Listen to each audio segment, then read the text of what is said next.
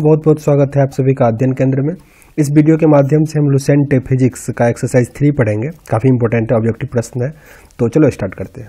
और हाँ इससे पहले मैंने बहुत सारे लुसेंट के जो भी ऑब्जेक्टिव के प्रश्न हैं, वो मैंने डाल दिया हर सब्जेक्ट के। तो अगर आप नहीं देखे होगे तो भी देख लेना, क्योंकि लुसेंट जो होता है, हर कंपिटेटिव एग्ज़ाम का बेस होता है, वो आना ही चाहिए। तो चलो स्टार्ट करते हैं। पहला प्रश्न है हमारा, ध्वनि तरंग की प्रकृति होती है। ध्वनि तरंग क्या होता है? अनुधैर्य होता है। कैसा होता है? अनुधैर्य होता है। ध्यान रखना। और लाइट क्या होता है? अनुप्रस्थ होता है। वो हम आगे पढ़ेंगे लाइट एक्सरसाइज में। तो ध्वनि तरंग क्या होता है? अनुधैर्य होता है। नेक्स्ट है हमारा निम्न में से कौन सा कथन ध्वनि तरंग के लिए सत्य है? तो इसमें से क्या है?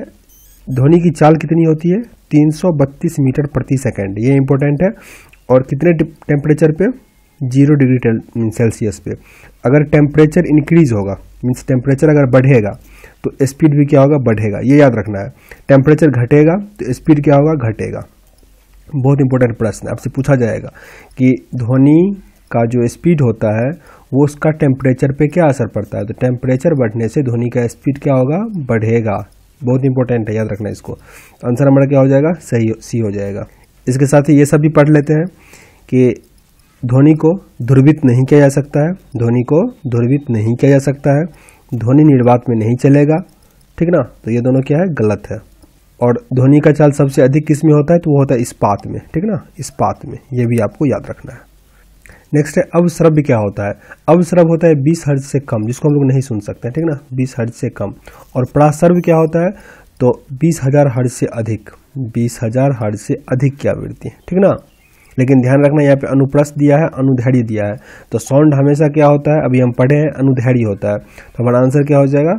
बीस हज़ार हर्ज से अधिक आवृत्ति की अनुधैर्य तरंग है, ठीक ना? देखो, ये दोनों सेम ऑप्शन दिया गया बस यहाँ पे थोड़ा डिफरेंस है। अनुप्रस्थ लाइट होता है, ध्वनि नहीं होता है। तो हमारा आंसर क्या हो जाएगा? डी बहुत इंपॉर्टेंट है, याद रखना है। और श्रव्य ध्वनि क्या होता है? जैसे ये था अब श्रव्य ये है पराश्रव्य। तो श्रव्य ध्वनि क्या होगा? 20 हर्ज से आगे प्रश्न होगा वैसे 20 हर्ज से लेके बीस हज़ार को 20 के भी लिखा जाता है हर्ज। नेक्स्ट प्रश्न है, पराश्रव्य तरंगे मनुष्य द्वारा क्या हो सकता है? तो नहीं सुन सकता है।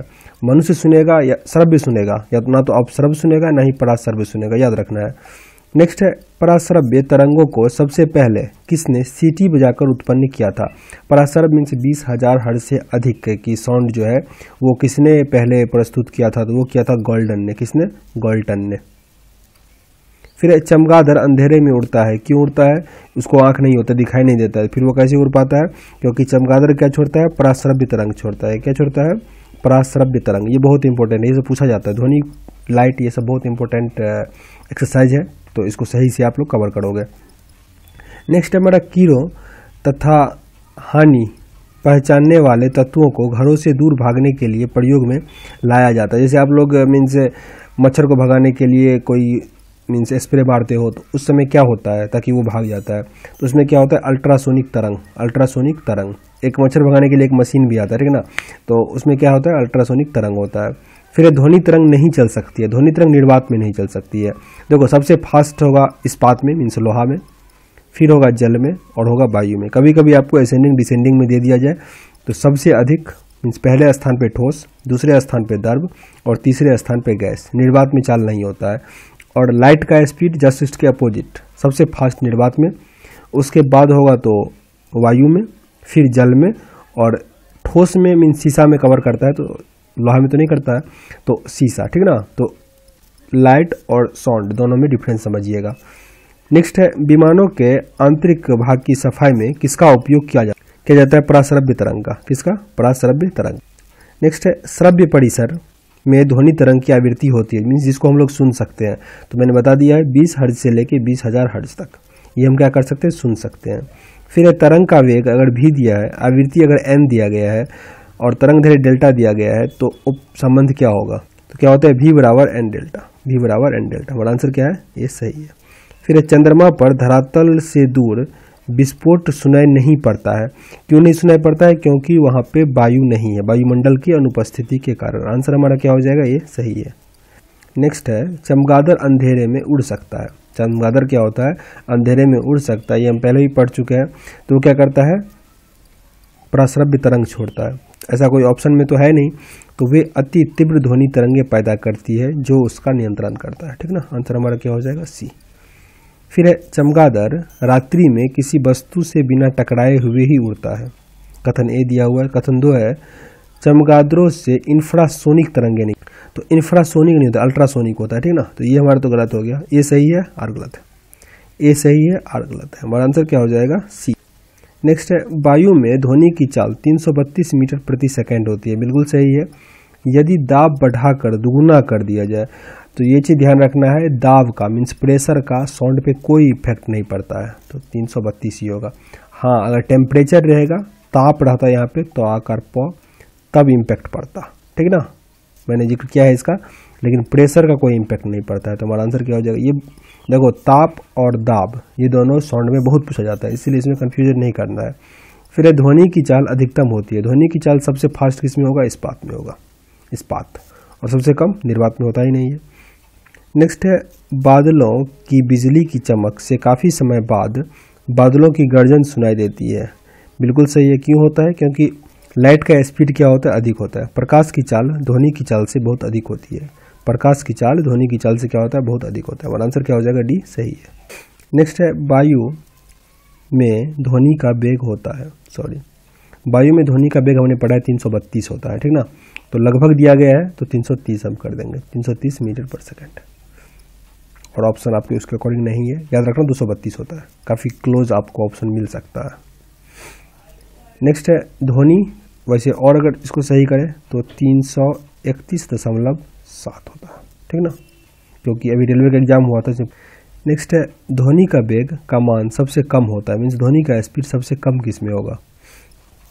किसमें होगा? गैस में होगा। गैस में। क्योंकि ठोस में सबसे अधिक, दर में उससे कम, गैस में सबसे कम। ठीक ना? तो गैस में। फिर ध्वनि का वेग भिन्न भिन्न माध्यमों में क्या होता है? भिन्न भिन्न माध्यमों में भिन्न भिन्न होता और ठोस में क्या होता है? सबसे अधिक होता है। भिन्न भिन्न होता है और ठोस में सबसे अधिक होता है। हमारा आंसर क्या हो जाएगा? नेक्स्ट है, लगभग 20 डिग्री सेंटीग्रेड के ताप पर किस माध्यम में ध्वनि की गति अधिकतम होगी? तो देखो, पहले आपको ठोस पे के साथ जाना है। तो ये सब, जैसे हवा, ग्रेनाइट, पानी तो हमारा क्या हो जाएगा? लोहा आंसर हो जाएगा। टेम्परेचर कोई भी रहे, माध्यम हमेशा ठोस में ही अधिक होगा, इस्पात में अधिक होगा। ठीक है ना सेम टेम्परेचर पे अब ऐसा नहीं कि मीन्स लोहे का टेम्परेचर कम कर दिया जाए, पानी का टेम्परेचर बहुत हाई कर दिया जाए, तब कुछ इम्पैक्ट पड़ सकता है। लेकिन इस्पात में आपको टिक लगाना है, ठीक ना? अगर सेम टेम्परेचर में लगभग सबको अगर इम्प्लीमेंट करें तब। फिर निम्न में से कौन सा एक कथन सही नहीं? तो आर्द्रता बढ़ने से वायु में जो नमी होता है, वो बढ़ने से वायु की ध्वनि का वेग क्या हो जाता है? कम हो जाता है। मैंने बताया था, देखो, ये कंसेप्ट याद रखो। ताप बढ़ेगा तो वायु का वेग क्या हो जाएगा? बढ़ जाएगा, ठीक है? पहला वही लिखा है, तापमान बढ़ने से वायु में ध्वनि का वेग क्या होता है? बढ़ जाता है। ये सही है। नेक्स्ट है, वायु में ध्वनि का वेग दाब पर निर्भर नहीं करता। मैंने अभी बताया, प्रेशर पे कोई निर्भर नहीं करता है। ये भी सही है। फिर आयाम तथा आवृत्ति में परिवर्तन से वायु की ध्वनि और वेग में परिवर्तन नहीं होती है, नहीं होती है। ठीक ना? आयाम होता ही है पीच। ठीक ना? तो उससे कोई इम्पैक्ट नहीं पड़ता है उसके स्पीड पे। आप ज़ोर से बोलोगे तो ऐसा नहीं होता है, बहुत तेज़ी से आवाज़ चला जाएगा। आवाज़ का जो साउंड का जो स्पीड होता है ना, वो उतना ही होता है। तो ये भी हमारा सही है, ठीक ना? लेकिन आर्द्रता बढ़ने पे वायु में ध्वनि का वेग कम हो जाता है, ये गलत है। आंसर हमारा क्या नेक्स्ट है, वायु में ध्वनि का वेग क्या होता है? तापमान के घटने से घटता है। तापमान के घटने से घटता है। आंसर हमारा क्या हो जाएगा? डी यही अगर आता तापमान बढ़ने से क्या होता है? तो बढ़ता है। मैंने कई बार ज़िक्र कर दिया अभी तक। नेक्स्ट हमारा है रेलगाड़ी के इंजन से निकली भाप पहले दिखाई देती है और सीटी बाद में सुनाई देती है।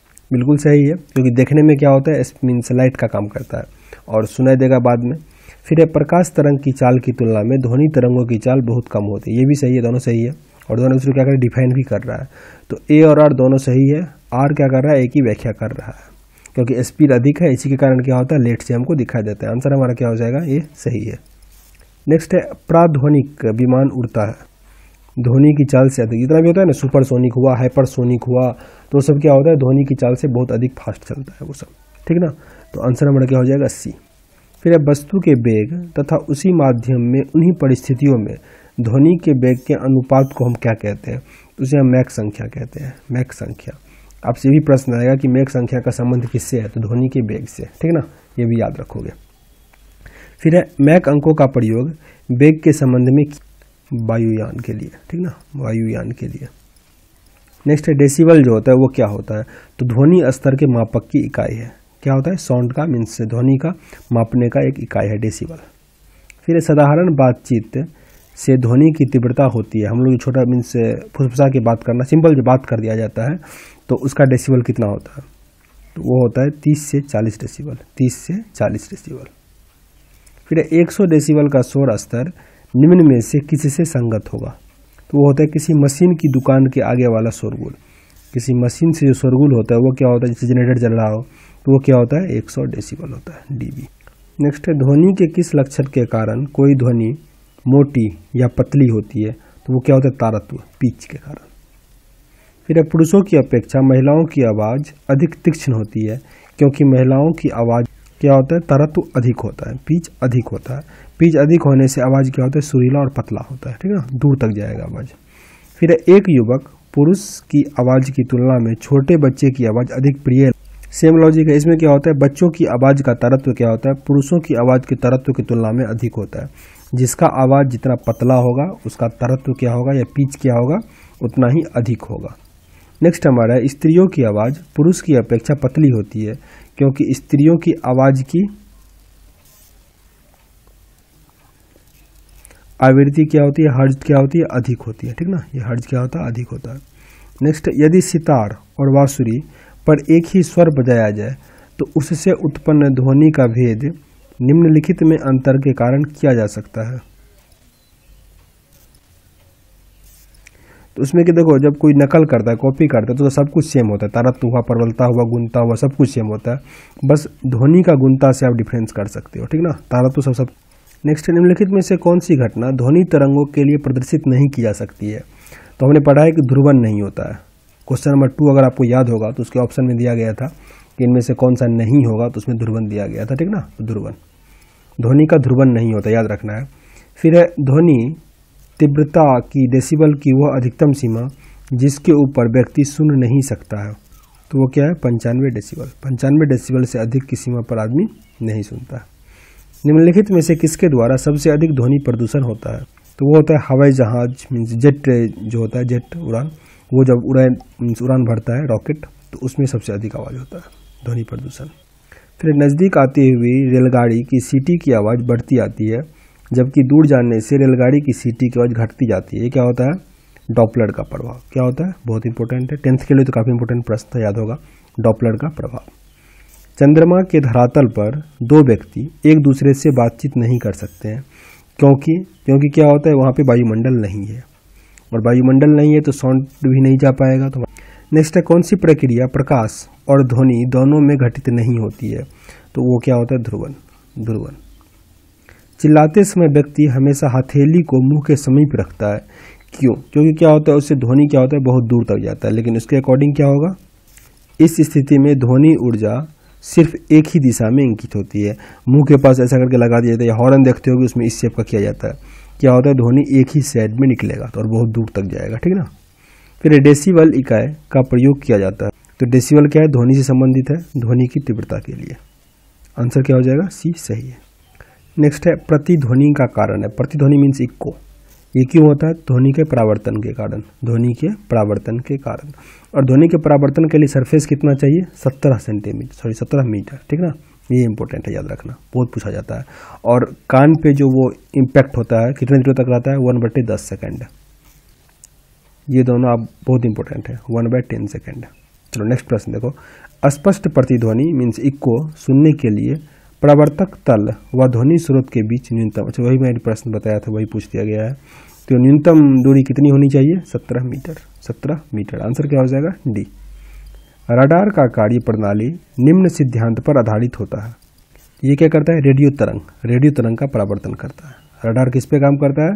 रेडियो तरंग पे। बहुत इंपॉर्टेंट है ये। नेक्स्ट है, किसी प्रतिध्वनि को सुनने के लिए मूल आवाज़ और प्रतिध्वनि के बीच का समय अंतराल क्या होना चाहिए? तो मैंने बताया था, एक बटे दस सेकेंड से अधिक होना चाहिए। एक बटे दस सेकेंड से अधिक होना चाहिए। और यहीं से ये भी याद रखना है कि अगर कोई बोलता है तो हमारे कान पर कोई भी साउंड कितना देर तक रहेगा, तब हम उसको सुन पाएँगे। तो वो भी होता है एक बट्टे दस। ठीक ना? इक्को के लिए एक बट्टे दस से अधिक, और कितना देर हम सुन सकेंगे तो वो होता है एक बट्टे दस। इसको ऑप्शन में रेलवे का एग्ज़ाम हुआ था, उसमें ऐसा ऑप्शन था।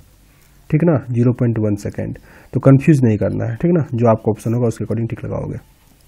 नेक्स्ट है हमारा अच्छे ऑडिटोरियम ऑडिटोरियम होता है जहाँ पे हम संबोधित किया जाता है कॉलेज में होता है। अच्छे ऑडिटोरियम की दीवारें, छत व फर्श, किसी रेशेदार पदार्थ, कालीन ग्लास फाइबर आदि से ढके रहते हैं। इसका उद्देश्य क्या होता है? ताकि ध्वनि क्या हो? प्रतिध्वनि ना हो, परावर्तन ना हो। तो ध्वनि का अवशोषण करके प्रतिध्वनि को रोकना इक्को ना हो मीन्स जो कहा जाए डायरेक्ट सुना जाए। ठीक है ना? आंसर हमारा क्या हो जाएगा? डी नेक्स्ट है, ध्वनि का प्रभाव मानव के कान पर कितने समय तक रहता है? तो वन बाय दस सेकेंड ज़िक्र किया था अभी। फिर ध्वनि तरंग किसके कारण प्रतिध्वनि उत्पन्न करता है? तो वो क्या करता है? प्रावर्तन के कारण। प्रावर्तन के कारण। Answer C. एक व्यक्ति को अपनी प्रतिध्वनि सुनने के लिए परावर्तक तल से कितनी दूर खड़ा रहना चाहिए? तो सत्रह मीटर पढ़े थे, नहीं तो छप्पन फीट। सत्रह मीटर या छप्पन फीट। अच्छा आप मुझे कमेंट बॉक्स में बताओ कि एक मीटर में कितना फीट होता है? इंपॉर्टेंट है। नेक्स्ट है, स्टेथोस्कोप ध्वनि के किस सिद्धांत पर कार्य करता है? तो भी करता है प्रावर्तन प्रावर्तन। फिर अब प्रतिध्वनि तरंग के डैश के कारण उत्पन्न होता है, फिर से सेम क्वेश्चन प्रावर्तन के कारण। प्रतिध्वनि क्यों होता है? प्रावर्तन के कारण। फिर सोनार अधिकांशतः प्रयोग में लाया जाता है। तो सोनार से हम क्या करते हैं? समुद्र की गहराई या ऐसा मापते हैं तो नौ चालक के लिए। नौ संचालकों के द्वारा। आंसर हमारा क्या हो जाएगा? डी सही है नेक्स्ट है अनुरण। कॉल या हॉल के आयतन के बीच संबंध का प्रतिपादन किसने किया था? तो किसने किया था? सेविन ने। गुंजहीन हॉल मीन्स डेड हॉल का अनुकरण काल क्या होता है? मीन्स कितने देर तक उसमें साउंड इको होता रहता? है शून्य सेकेंड, कुछ भी नहीं। ठीक ना? ये सही है। फिर जब सेना पुल को पार करती है तो सैनिक को कदम से कदम मिलाकर न चलने का निर्देश दिया जाता है। क्योंकि? क्योंकि उससे क्या होता है? पुल टूट सकता है। ठीक है ना? क्यों टूट सकता है? क्योंकि पैरों से उत्पन्न ध्वनि के अनुनाद के कारण पुल टूटने का खतरा रहता है। आपसे प्रश्न ऐसे भी आएगा कि जब सैनिक कदम से कदम मिलाकर चलेंगे तो पुल टूट जाएगा। क्या कारण है उसका? तो उसका कारण क्या होता है? अनुनाद। ये भी पूछा जाएगा आपसे। लेकिन इसके प्रश्न के अकॉर्डिंग क्या होगा? पैरों से उत्पन्न ध्वनि के अनुनाद के कारण पुल टूटने का खतरा रहता है। इसके कारण क्या कहा जाता है? सैनिकों को कदम से कदम नहीं मिला के चलना रहता है। तो आंसर हमारा क्या हो जाएगा? बी। ये प्रश्न उल्टा पुल्टा करके पूछा जाता है। तो इसलिए आप दोनों लाइन को याद रखो सही से। फिर हम रेडियो की घुंटी घुमाकर विभिन्न स्टेशनों के कार्यक्रम सुनते हैं। वो संभव है अनुनाद के कारण, ठीक ना? अनुनाद के कारण। नेक्स्ट है, कहा जाता है, जब तानसेन गाना गाता था तो खिड़की और कांच के गिलास टुकड़े टुकड़े हो जाते थे। यदि ऐसा संभव भी हो तो ध्वनि के किस गुण के कारण होगा? तो देखो, जब ध्वनि से कुछ टूटने उठने का बात हो ना तो वो होगा अनुनाद। अनुनाद। नेक्स्ट है, जब हम जल के नीचे सुराही भरने के लिए रखते हैं तो जैसे जैसे सुराही भरती जाती है वैसे वैसे हमें विशेष प्रकार की ध्वनि सुनाई देती है। बिल्कुल सुनाई देती है। तो उसका कारण क्या है? उसका भी कारण है अनुनाद। अनुनाद। रेडियो के सम, समस्वरण स्टेशन उदाहरण है। तो ये भी क्या हो जाएगा? अनुनाद। नेक्स्ट है, जब किसी स्थान पर दो लाउड स्पीकर साथ साथ बजते हैं तो किसी स्थान विशेष पर बैठे श्रोता को उनकी ध्वनि नहीं सुनाई देती है। मीन्स दोनों क्या होता है साउंड टकरा जाता है। उसका कारण क्या होता है? व्यतीकरण। व्यतीकरण। आंसर हमारा क्या हो जाएगा? बी फिर समुद्र में स्थान स्थान पर ऊँचे प्रकाश घर लाइट हाउस बनाए जाते हैं, जहाँ से बड़े बड़े साइन सायरन बजाकर जहाज़ों को संकेत भेजे जाते हैं। कभी कभी जहाज़ नीरव क्षेत्र, मीन्स साइलेंस जोन में पहुँच जाता है, जहाँ आवाज़ नहीं जा पाता है, जहाँ सैरन की ध्वनि नहीं सुनाई देती है। ये नीरव क्षेत्र ध्वनि तरंगों के किस गुण के कारण थे वो भी क्या होगा? व्यतीकरण। जहाँ पे साउंड नहीं पहुँच पाएगा ना, जहाँ साइलेंट जोन जिसे कहा जाता है, उसे हम क्या कहेंगे? व्यतीकरण का ये कारण है। नेक्स्ट प्रश्न है हमारा, जब हम कमरे के अंदर बैठे रहते हैं तो यद्यपि हम बराबर के कमरे में बातचीत करने वाले व्यक्तियों को देखते तो नहीं है, परंतु उसकी आवाज़ सुन सकते हैं। इसका मुख्य कारण क्या होगा? तो वो क्या होगा? विवर्तन विवर्तन। विवर्तन को व्यतीकरण से कंफ्यूज नहीं करना, ठीक ना? इसमें क्या होता है? साउंड नहीं सुनाई देगा। और इसमें क्या होता है? साउंड सुनाई देता है। जैसे हम लोग बोलते हैं ना कि बगल में अगर बात हो रहा तो हम लोग सुन लेते हैं। तो वो क्या होता है? विवर्तन के कारण। नेक्स्ट है, जब ध्वनि स्रोत की आवृत्ति में होने वाले उतार चढ़ाव को क्या कहते हैं? मीन्स ध्वनि कभी बढ़ जाता है, कभी घट जाता है तो क्या होता है? डॉपलर प्रभाव। डॉपलर प्रभाव। डॉपलर प्रभाव संबंधित है किससे? ध्वनि से। फिर वही डिफिनीशन मीन्स रेलगाड़ी जाती है तो सीटी अधिक होती है, फिर कम होती है तो ये सब दिया गया, ये क्या होता है? डॉपलर प्रभाव। पहले भी रिपीटेड प्रश्न है ये। नेक्स्ट है, इसमें आपको कथनों पर विचार करना है। कम लंबाई की बांसुरी से निम्न आवृत्ति की तरंग उत्पन्न होती है। नहीं, बहुत ज़्यादा ही होता है। कम लंबाई से ही क्या होता है? अधिक होता है। ये हमारा पहले ही गलत हो गया। फिर ध्वनि शैलों में केवल सॉरी कोवल है अनुधैर्य प्रत्यस्त तरंगों के रूप में प्रगामी होती है। तो ये सही है। हमारा आंसर क्या हो जाएगा? दो, सही है। फिर नेक्स्ट प्रश्न है हमारा। फिर कथन और कारण दिया गया है। समुद्र तल के निकट मार्ग संख्या एक पर जा रहे वायुयान की चाल की तुलना में पंद्रह किलोमीटर की ऊंचाई पर मार्ग एक पर जा रहे वायुयान की चाल अधिक होती है। तो कोई फिक्स नहीं अधिक ही होना चाहिए। तो ये ठीक ना? दोनों सेम ही होगा। ये गलत है। नेक्स्ट है, ध्वनि की गति परावर्ती माध्यम से ताप पर निर्भर करता है। हाँ ताप पर निर्भर करता है, ये मैंने बताया था। ताप बढ़ेगा तो ध्वनि का स्पीड भी क्या होता है? बढ़ जाता है। तो ये सही है। आर सही है। ठीक ना? और ये गलत है। ये, ठीक ना? आंसर हमारा क्या हो जाएगा? डी नेक्स्ट है, निम्नलिखित में आपको विचार करना है। इसमें विस्तृत रूप से प्रयुक्त संगीतकार स्वर्गराम, जिसे ट्विटोनी स्वर्गराम कहते हैं। सात आवृत्तियों वाले होते हैं। हाँ सुने होंगे सात धुन होता है। नेक्स्ट है स्वर सा की आवृत्ति दो सौ छप्पन हर्ज होती है और स्वर्गीय की आवृत्ति पाँच सौ बारह हर्ज होती है। तो इसके अकॉर्डिंग आंसर ए है ठीक ना? हाँ, ये क्या हो जाएगा? एक सही है दो गलत है। इसकी आवृत्ति लगभग से सेम रहती होगी डिफरेंस ये मैं नहीं बता सकता। यहाँ पे क्या है? आंसर ये सही है। नेक्स्ट निम्नलिखित में से किस पर किस एक प्रकार की तरंग का प्रयोग रात्रि दृष्टि उपकरण में किया जाता है। तो रात्रि में किया जाता है अवरक्त तरंग का अवरक्त तरंग। का निम्नलिखित में से किस एक में ध्वनि चाल सबसे अधिक होगी? तो सबसे अधिक होगा किसमें ठोस इसमें क्या है? लकड़ी में, ठीक है ना? लकड़ी में। देखो 100 डिग्री पे वायु कर दिया, फिर भी क्या है? ठोस में अधिक है। तो ये याद रखना, सबसे अधिक क्या होता है? इस्पात में ही होता है, ठोस में अधिक होता है। नेक्स्ट है, ध्वनि के स्रोत व परावर्ती सतह के बीच न्यूनतम दूरी कितनी होनी चाहिए? तो परावर्ती सतह मीन्स इको की बात की जा रही तो कितनी होनी चाहिए? सत्रह मीटर सत्रह मीटर। फिर रिपीटेड प्रश्न है, लगभग 20 डिग्री सेल्सियस के तापक्रम पर किस माध्यम में ध्वनि की गति अधिकतम होगी? तो क्या होगा? लोहे में। डेसिबल किसे मापने के लिए प्रयोग में लाया जाता है? तो डेसिबल से हम लोग क्या मानते हैं? ध्वनि, ठीक ना? तो वातावरण में ध्वनि। आंसर हमारा क्या हो जाएगा? सी कौन सी तरंग शून्य में संरचना नहीं कर सकता है? शून्य मीन्स हो गया निर्वात, ठीक ना? निर्वात में नहीं कर सकता है, ध्वनि। नेक्स्ट प्रश्न है, इसमें दिया गया है भी ए लिखा है भी डब्ल्यू भी एस क्रमशः मीन्स वायु है ये, जल दे दिया है इसको और इस्पात दे दिया है इसको, ठीक ना? ये है इस्पात। तो इसका वेग कितना होगा? सबसे अधिक किसका होता है? इस्पात का मीन्स भी एस सबसे अधिक होगा। ठीक ना तो हमारा आंसर ए सही है। बी एस यहाँ पे लिखा है, फिर बी डब्ल्यू सबसे अधिक इस्पात में, फिर जल में और फिर वायु में। नेक्स्ट है, ध्वनि गुजर सकती है। ध्वनि किसमें सॉरी नहीं है।